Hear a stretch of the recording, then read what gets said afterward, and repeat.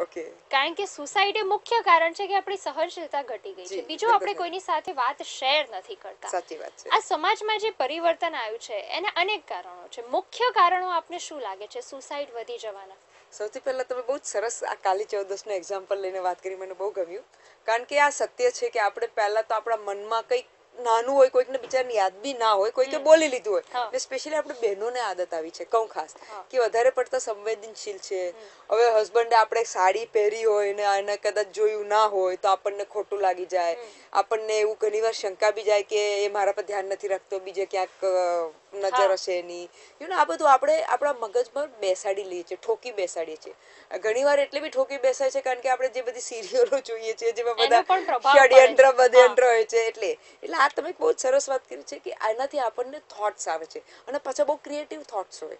Creative તો એટલા બધા કે કદાચ સિરિયલ કરતા આગળ ક્રિએટિવ થોટ્સ થઈ જતા હોય કે કંઈક આપણે ક્યાંકથી ક્યાંક જોડાણ કરીને કરતા હોઈએ. અને પછી જે આપણે વિચારો ઇટ ઇઝ સેડ કે આપણે જે જે વિચારીએ છીએ ને એ આપણે એ એ શબ્દમાં લાવીએ છીએ. અને એ જ્યારે શબ્દ થાય છે ત્યારે એનું સત્ય થાય છે. એક એક એક એક ઇટ્સ અ સાયકોલોજીકલ થિંગ એટલે અનફોર્ચ્યુનેટલી જ્યારે આપણે ખોટું નેગેટિવ વિચારીએ છીએ આવું બધું અપશુકન કે જે બી કહેવાય એવું વિચારીએ છીએ તો એ ધીરે ધીરે આપણે આપણી લાઈફમાં એને એને એને મેનિફેસ્ટો કહીએ છીએ. મને ગુજરાતીનો મેનિફેસ્ટો નથી આવડતો પણ એનું મેનિફેસ્ટેશન થાય છે. એટલે આપણે કહીએ છીએ ને ગમે તો પોઝિટિવ થોટ્સ રાખો. પોઝિટિવ થોટ્સનો એક બીજો ફાયદો શું થાય છે બેન? કે જ્યારે તમે પોઝિટિવ વિચારો છો ત્યારે તમને આસપાસનું બધું પોઝિટિવ લાગશે. ભલે કંઈક હશે આગળ પાછળ. હું હવે હવે એક બીજા એંગલથી કહું કે ભલે થોડું ઘણું આગળ પાછળ હોઈ શકે છે. એમાં ડાઉટ નથી. આજની તારીખમાં થોડું વ્યભિચાર બી છે. આજની તારીખમાં પેલું શું કહેવાય જૂના પેલા પેલા યાદ છે આપણે નાના હતા તો ડાયલોગ મેં તો સાંભળ્યા હતા કે રોજ બટાકા બટાકા રોજ રોટલી શાક ખાવાનું હવે લોકોને ફાવતું નથી રાઈટ હા હા, એવું બધું કંઈક કંઈક હા. ચટપટું જોઈએ હા, એવું એ- સાદી એવા બધા- ભાષામાં એવું- આપણે એવું બધું કહેતા stupid, હોઈએ એવા છીએ, yes, stupid હા. જેવા stupid, I would call that stupid also.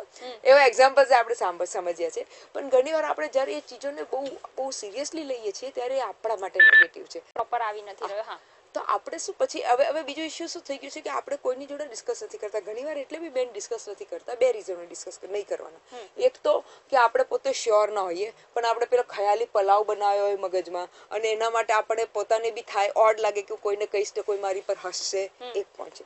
બીજું કે આપણી પાસે એવા કોઈ એવા કોઈ રિલેશન્સ જ નહીં હોય બોન્ડિંગ વાળા રિલેશન કારણ કે ઘણીવાર શું થાય કે જ્યારે બહેનો આઉટ ઓફ જ્યારે જ્યાં રહેતી હોય ત્યાંથી બીજી જગ્યાએ પરણે યા બીજા સ્ટેટમાં પરણે સિટીમાં પરણે તો ઘણીવાર એ લોકોને બોન્ડિંગ વાળા રિલેશન ના હોય ને એ બહુ નેચરલ છે કે નથી નથી હોતા. હવે તો ટેલિફોનનો જમાનો આવે છે તમે વાત કરી શકો છો ટેલિફોન પર પણ એ લોકો ના કરે ખચખચાય. પેરેન્ટ્સ જોડે એટલે ના કરે કે એમને થાય કે મારા પેરેન્ટ્સ એનું ક્યાં માતા પિતાને ડિસ્ટર્બ કરવા ડિસ્ટર્બ કે કરે? હા બરાબર એક્ઝેક્ટલી ડિસ્ટર્બ કરવા કે દુખી કરવા.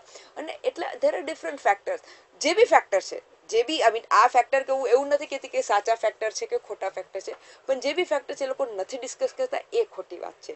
ફેક્ટર એની જગ્યાએ છે ડિસ્કશન કરવું બહુ જરૂરી છે કારણ કે જ્યાં સુધી તમે તમારી મનની શું કહેવાય જે તમારા મનનું શું કહેવાય વિચાર છે સોચ છે એ જ્યાં સુધી તમે બહાર નહીં કાઢો ત્યાં સુધી તમે એમાં Hello.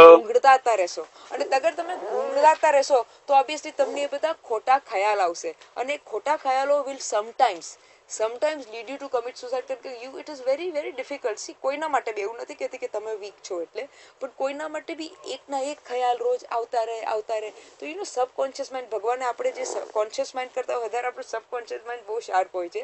તો એને એને, એ ખ્યાલો એટલા આવે છે કે તમે એમાં ડિપ્રેશનમાં ઘણીવાર પડી જાઓ છો. અને ડિપ્રેશનના લીધે કોઈની જોડે વાત ના કર્યું, તમે એ રોજ જોતા રહો છો, તો તમને થાય છે કે આ આવું આવું શું જીવવું?